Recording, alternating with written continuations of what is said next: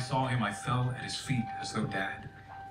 Then he placed his right hand on me and said, Do not be afraid. I am the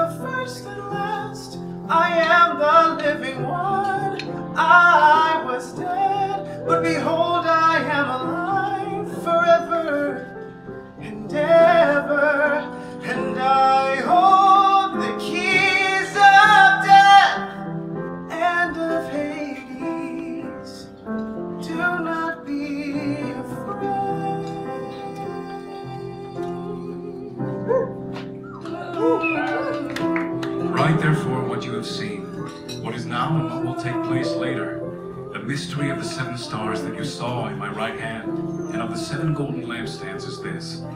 The seven stars are the angels of the seven churches, and the seven lampstands are the seven churches. Do not be